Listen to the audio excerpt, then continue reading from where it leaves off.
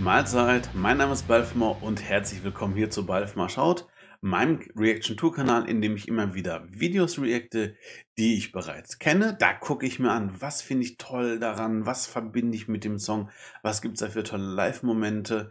Äh, ich reacte allerdings auch immer wieder Sachen, die ihr mir vorschlagt, äh, die YouTube mir vorschlägt. Und hin und wieder mache ich mir auch mal ein bisschen was, ja, was heißt Besonderes, also so ein bisschen was anderes. Und heute reacte ich dann mal ein Musikvideo ohne Musikvideo. Das habe ich bis jetzt schon einmal gemacht. Das war mit Blind Guardian. Ähm, heute ist dann einfach Equilibrium mit Wassermann an der Reihe und ich wechsle hier einfach schon mal den Bildschirm.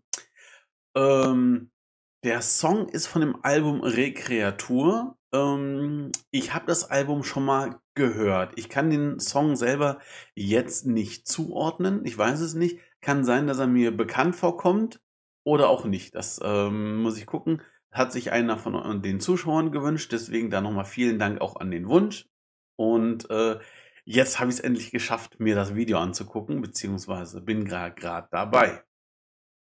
Ja, was soll ich großartig dazu sagen?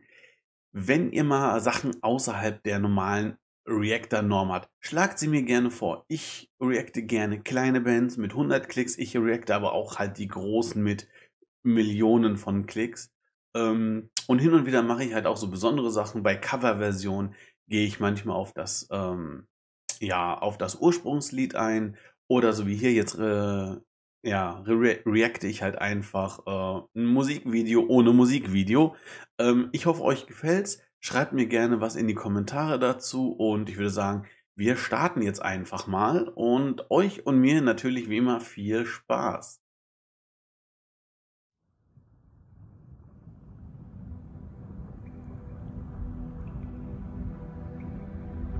Also das Lied ist recht lang. Ich denke mal, das ist so ein richtig schöner Aufbau.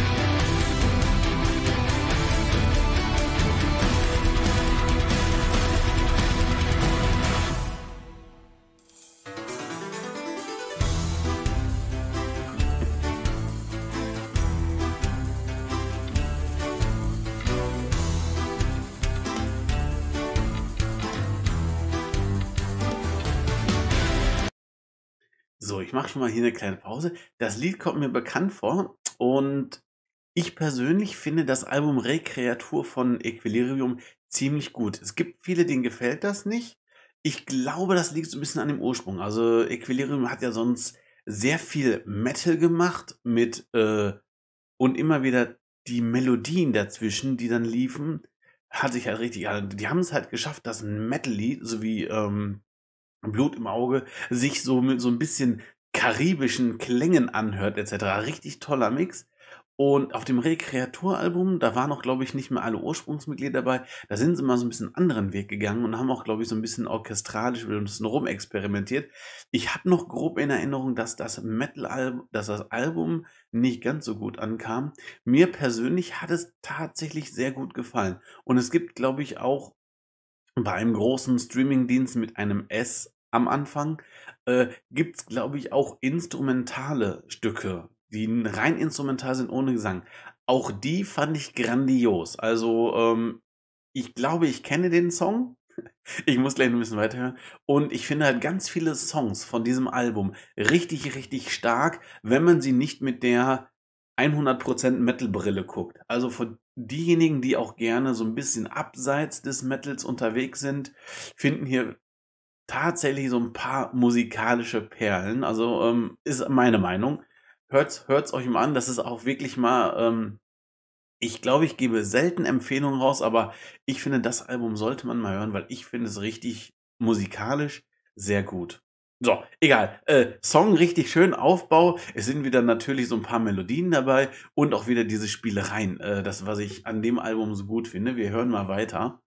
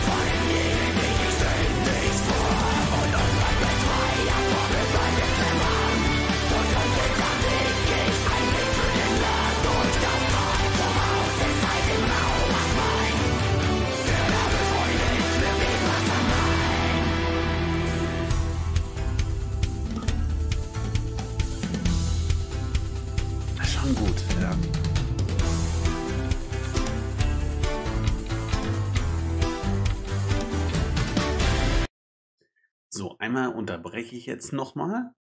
Äh, dazu nochmal der Aufruf, wenn euch das Lied gefällt, guckt natürlich, dass ihr den Originalkünstler unterstützt. Mir ist aufgefallen, es gibt viele Künstler, wo einfach nur ein Theme hintersteht, wo kein Haken hinter ist.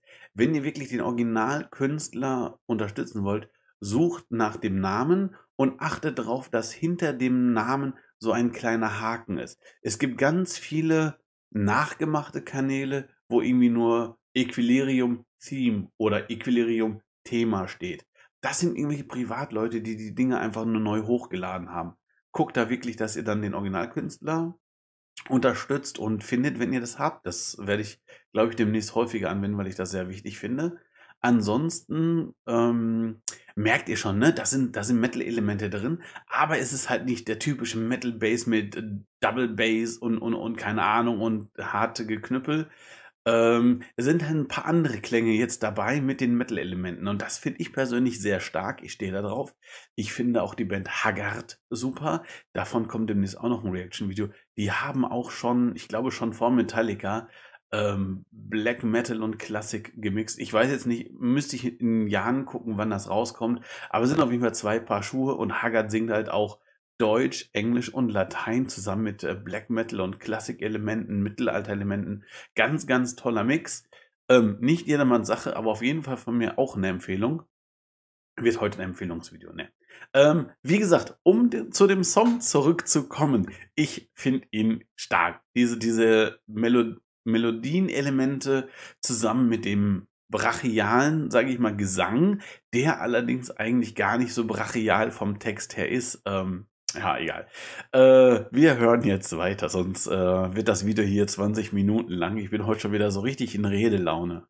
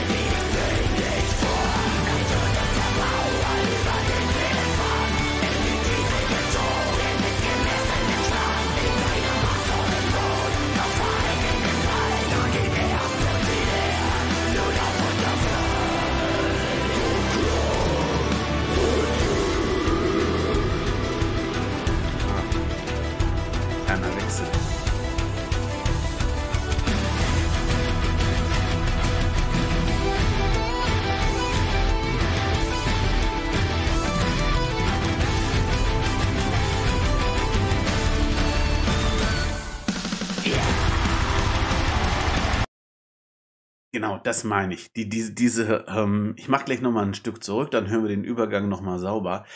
Ähm, diese Übergänge halt, das ist halt nicht so, so, ich sag mal so, ah, es, gibt, es gibt ja eh nicht 100% Metal, aber ich hoffe, ihr wisst, was ich meine. Ich will auch niemanden vom Bug schießen damit. Ähm, das sind halt so Sachen, wenn man halt richtig Bock auf Metal hat, ist das nicht das Richtige. Das ist eher Musik, musikalische Spielerei trifft es ja auch nicht ganz, weil das ist ja ernsthafte Musik, aber dieses Spielen mit der Musik finde ich in diesem Album ganz, ganz stark und richtig, richtig gut. Ähm, und ihr hört es, ne, da kann die holen da einiges raus. Also ich bin gerade wieder, ich richtig so, ach geil, ich muss erstmal wieder das Album durchhören. so, ähm, wie gesagt, Stückchen zurück wollte ich machen, damit wir das alles sauber hören, den Übergang. Und ähm, dann geht's jetzt weiter. Ein bisschen weit zurück, aber egal. Song ist trotzdem gut.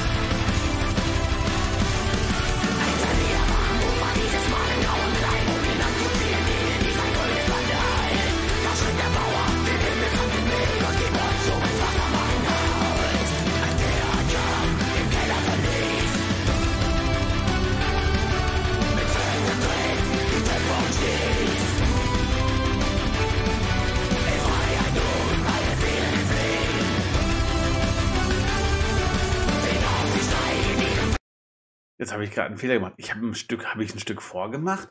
Oh Mann, ich glaube, ich habe ein Stück vorgemacht. Egal. Der Song ist so gut, wir hören uns einfach nochmal an. Also ihr seht, ich mache hier alles live und es gibt auch hier keinen, ich schneide mal so ein paar Kackfehler raus. Äh, komm, gehen wir einfach ganz weit zurück und hören nochmal hier. ähm, ja, wie gesagt, ich, ich lebe und liebe die One-Takes und auch mit allen Höhen und Tiefen und deswegen, sorry, ich habe, glaube ich, gerade einfach weitergemacht anstatt zurück. Ähm, ja, komm.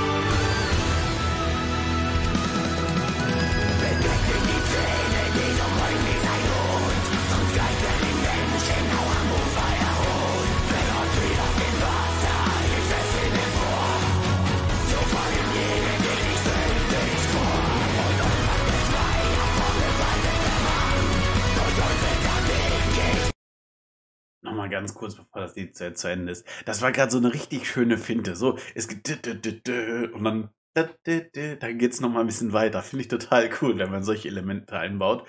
Gibt ja auch bei ganz vielen anderen Liedern, die dann plötzlich so einen Rhythmuswechsel haben. Äh, hatte ich irgendwann, glaube ich, schon mal erzählt. Ich weiß es gerade nicht. Und dann, ähm, äh, dann merkt man direkt, wer das Lied kennt und wer nicht. Gerade so in Metal-Discos, wo es dann so, hey, hey, oder sowas geht. Oder so bei bestimmten Rhythmuswechseln. Wenn dann plötzlich so ein kurzer Aussetzer ist und alle fangen an und es ist aber irgendwie einfach so eine Sekunde Pause, wo das ganze Lied gestoppt hat und dann geht's weiter. Ähm, ein gutes Beispiel dafür ist auch äh, Hammerfall mit Hearts on Fire, wenn sie alle immer so Hearts, Hearts in irgendwo so einem Zwischenpunkt und dann verändert sich der Rhythmus, wo man halt ähm, dieses Hearts ruft. Das wird erst einfach und dann wird es, glaube ich, schneller oder andersrum. Ich bin mir gerade nicht sicher. Und äh, das ist auch so ein berühmter Punkt, wo sich ganz viele Leute vertun und eigentlich ist nichts und dann hörst du so zwei Leute so hart oder so, oh, falsch. ich, ich mag solche Stellen. Also nicht um andere bloßzustellen, sondern einfach halt so, ähm, dass man nicht einfach gerade so ein Finale ähm, oder so bestimmte Elemente einfach so durchlaufen lässt, um als Füllmenge zu dienen, sondern selbst dann noch ein wenig Spielerei und musikalische Arbeit reinsteckt.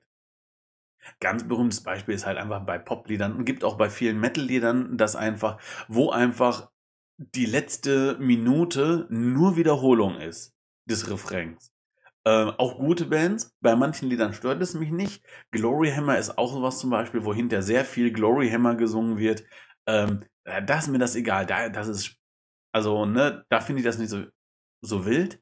Aber es gibt so ein paar Lieder, da denke ich mir, ach Leute, zweimal weniger oder noch eine kleine Spielerei wäre schon cool gewesen. Also, ne? Ich denke mal, ihr wisst, was ich meine. Ich gehe jetzt noch mal ein ganz kleines Stückchen zurück. Und diesmal gehe ich wirklich ein ganz kleines Stückchen zurück. ähm, und äh, dann hören wir uns jetzt mal den Song zu Ende. Und da nochmal vielen, vielen Dank an den Tipp. Ne? Gerne mehr. Schlagt mir gerne eure Lieblingslieder vor. Kleine Bands, große Bands, egal. Immer her damit.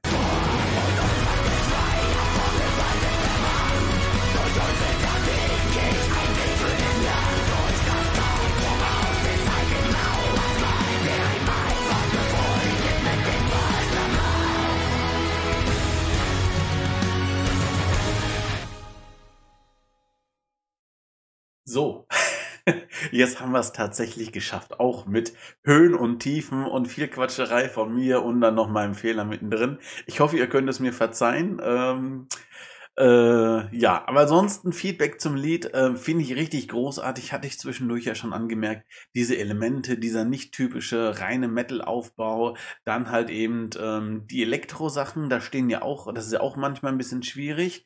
Ähm, das ist im asiatischen Raum hat man sehr viel mehr Elektroelemente als im, äh, ich sag mal, deutschen und oder im europäischen und amerikanischen Metal-Bereich. Afrikanisch und südamerikanisch ist ja nochmal ein bisschen was anderes. Da muss ich mich demnächst musikalisch, glaube ich, auch mal auf eine Reise hinbegeben. Da habe ich bis jetzt noch sehr wenig äh, gemacht. Wird aber auch demnächst kommen. Aber wie gesagt, dieses, ähm, die, diese Spielart zusammen mit den elektronischen Sachen äh, meine ich halt damals so ein bisschen mitbekommen zu haben, dass das Album wohl gar nicht so toll angekommen wäre. Wobei ich es persönlich halt sehr stark finde. Es ist, glaube ich, das Album, was ich am meisten von Equilibrium damals gehört habe. Ähm, so als so meine Equilibrium-Phase da war. Und ich glaube, die Equilibrium-Phase kommt gerade so ein bisschen zurück. ähm, ja, wie dem auch sei. Ich würde sagen, wir haben es heute wieder. Ich habe wieder exzessiv gequatscht. Wir sind jetzt fast bei 20 Minuten. Eieiei. Äh, falls ihr es bis hierhin geschafft habt, vielen Dank, super. Und ähm, ich wünsche euch weiterhin viel Spaß. Äh, schaut euch gerne bei mir auf dem Kanal um. Und äh, wenn ihr Bock habt, könnt ihr mir auch bei Instagram folgen. Jetzt mal so ein bisschen Social Media Sachen. Links sind alle unten in den ähm, Panels oder auch mal auf Discord kommen. Der Server ist im Moment noch relativ ruhig und klein, aber je mehr drauf kommen, desto größer wird er. ähm, und ansonsten gibt es natürlich bei Instagram auch immer mal wieder Sachen von mir außer der Reihe. Ich trainiere im Moment für einen Mammut Walk. Ähm, wer häufiger gesehen hat, hat vielleicht schon gesehen, dass ich ein bisschen schmaler im Gesicht geworden bin. Ähm, ne, da äh, trainiere ich für einen 100 Kilometer Marsch der in 24 Stunden absolviert werden soll. Momentan bin ich noch lange nicht da, aber ich habe noch ein paar Monate Zeit. Und ansonsten gibt es natürlich auch hier ein bisschen zu Brettspielen, Miniaturen von mir immer. Äh, wenn ihr da Bock drauf habt, äh, wie gesagt, auf Instagram einfach nach dem Wahlhelfer suchen. Äh, ansonsten Links sind unten auch alle. Und so, jetzt bin ich wirklich raus. Ich wünsche euch was. Bis dahin, euer Balfamore. Ciao.